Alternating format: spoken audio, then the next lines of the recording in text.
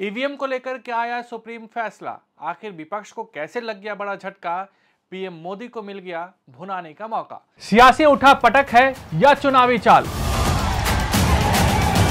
नेताओं के बोल और इरादों में क्या है अंतर? राजनीतिक दंगल में कौन किस पर है भारी? हर सियासी राव की इनसाइड स्टोरी प्रजातंत्र।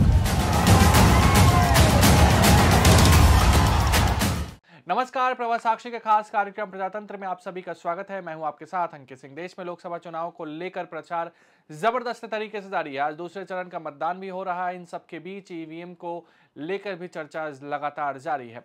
दरअसल शुक्रवार को सुप्रीम कोर्ट ने वीवीपैट वेरिफिकेशन की मांग को लेकर सभी याचिकाओं को खारिज कर दिया। बैलेट पेपर की मांग को लेकर भी दर्ज याचिकाओं को सुप्रीम कोर्ट ने खारिज कर दिया। एक तरीके से देखें तो यह ईवीएम को लेकर लगातार हो रही राजनीति पर बड़ा प्रहार है। विपक्ष बार बार ईवीएम के साथ छेड़छाड़ होने का आरोप लगाता रहता है। हालाँकि चुनाव आयोग साफ़ तौर पे ये कहता रहा है कि ईवीएम के साथ कोई भी छेड़छाड़ नहीं किया जा सकता। सुप्रीम कोर्ट का फैसला सत्ता पक्ष के लिए जहाँ राहत लेकर आया है तो वहीं विपक्ष को बड़ा झटका लगा है। कोर्ट ने क्या कहा? सुप्रीम कोर्ट ने ईवीएम के माध्यम से डाले गए वोट का voter verification paper, audit trail के साथ मिलान कराने का अनुरोध करने वाली सभी याचिकाएँ खारिज कर दी और कहा कि तंत्र के किसी भी पहलू पर आँख मूंद कर अविश्वास करना बिना वजह संदेह पैदा कर सकता है। न्यायमूर्ति संजीव खन्ना और न्यायमूर्ति दीपांकर दत्ता की पीठ ने मामले में सहमति वाले दो फैसले सुनाए और इस मामले से जुड़ी सभी याचिकाएँ खारिज कर दी, जिनमें दोबारा मतपत्रों से चुनाव कराने की प्रक्रिया पुनः अपनाने का अनुरोध करने वाली याचिका भी शामिल है। पीठ ने अपने फैसले में कहा, लोकतंत्र का अर्थ सद्भाव और सभी संस्थाओं में भरोसा बनाए रखने का प्रयास करना है। न्यायालय ने दो निर्देश भी जारी किए हैं। न्यायमूर्ति खन्ना ने अपने फैसले में निर्वाचन आयोग को मतदान के बाद इलेक्ट्रॉनिक वोटिंग मशीनों में चिन्ह लोड करने वाली स्टोर यूनिट्स को 45 दिनों के लिए स्ट्रांग रूम में सुरक्षित करने के निर्देश दिए। शीर्ष अदालत ने ईवीएम निर्माताओं के इंजीनियरिंग को यह अनुमति दी कि वे परिणाम घोषित होने के बाद दूसरे और तीसरे स्थान पर रहने वाले उम्मीदवारों के अनुरोध मशीन के माइक्रो कंट्रोलर को सत्यापित कर सकते हैं। विपक्ष ने क्या कहा? विपक्ष के तमाम नेता ईवीएम को लेकर सवाल उठाते रहे हैं कांग्रेस महासचिव।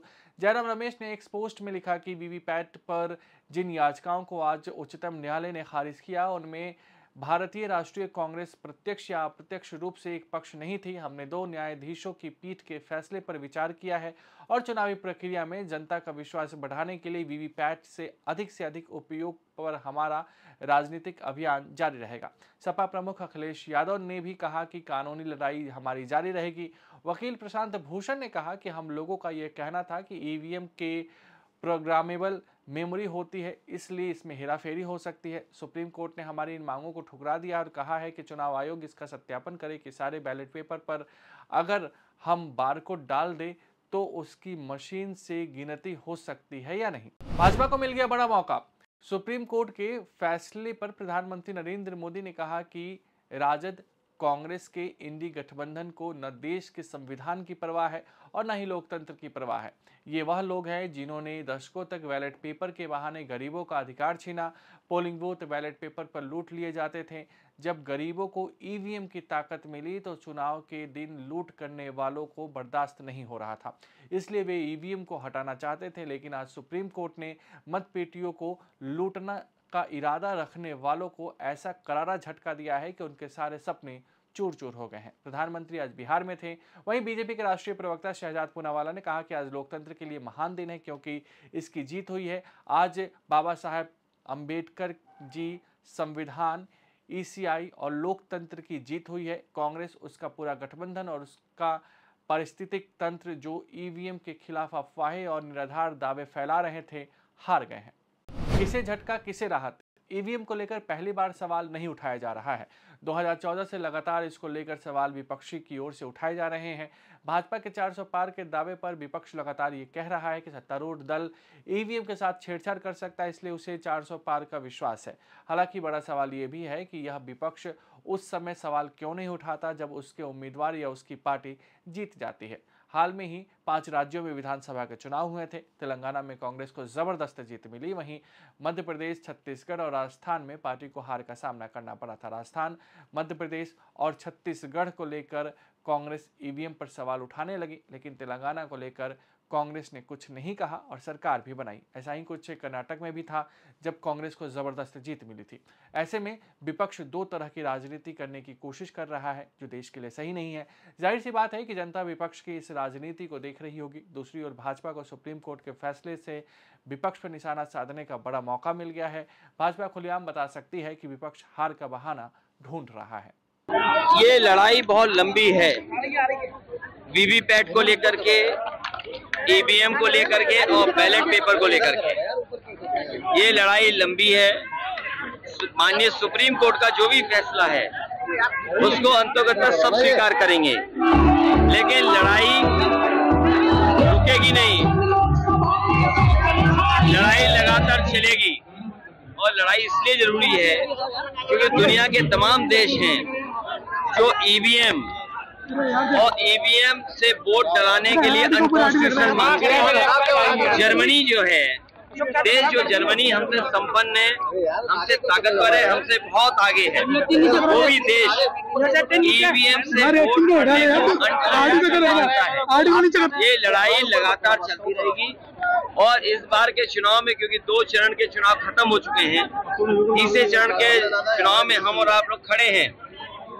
मैं एक ही बात कहना चाहूँगा। इंडिया गठबंधन को जिताओ, समाजवादी पार्टी को जिताओ, सरकार बनाओ और ईवीएम भी हटाओ। साथियों, आरजेडी कांग्रेस के इंडी गठबंधन को ना देश के संविधान की परवाह है और ना ही लोकतंत्र की परवाह है।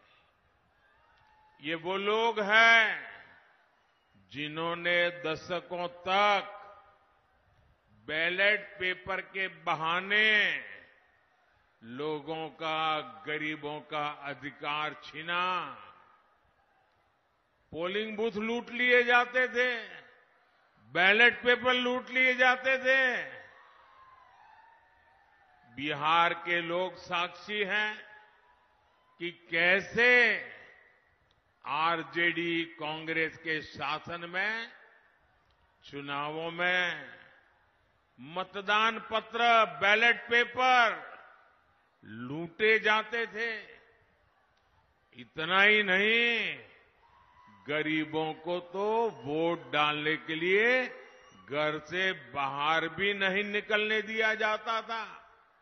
मेरे दलित भाई बहन, मेरे पिछड़े भाई बहन, उनको तो डंडे के चोट पे घर के बाहर निकलना मना कर दिया जाता था। अब जब गरीबों को, देश के ईमानदार मतदाता को ईवीएम की ताकत मिली है तो ये जो चुनाव के दिन लूट चलाते थे। वोट हड़प करने के खेल खेलते थे।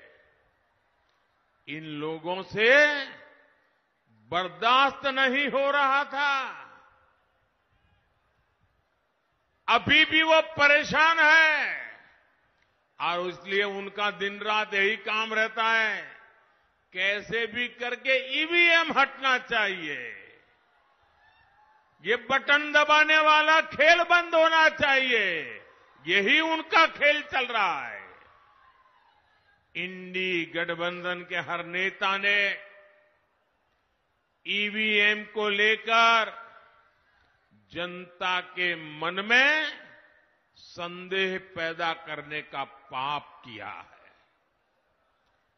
लेकिन आज देश के लोकतंत्र की ताकत देखिए बाबा साहब आम्बेडकर के संविधान की ताकत देखिए। आज सुप्रीम कोर्ट ने अभी एक दो घंटे पहले ही मतपेटियों को लूटने का इरादा रखने वालों को ऐसा गहरा झटका दिया है, ऐसा गहरा झटका दिया है कि उनके सारे सपने चूर चूर हो गए हैं। आज उच्च न्यायालय ने सुप्रीम कोर्ट ने साफ़ साफ़ कह दिया है कि बैलेट पेपर वाला, पुराना दौर वापस लौट करके नहीं आएगा। अगर आप भी लेना चाहते हैं देश दुनिया की तमाम जानकारी तो आज ही सब्सक्राइब करें हमारे चैनल को। साथ ही नीचे दिए बेल आइकन को ज़रूर दबाएँ ताकि हर अपडेट आप तक पहुँच सके।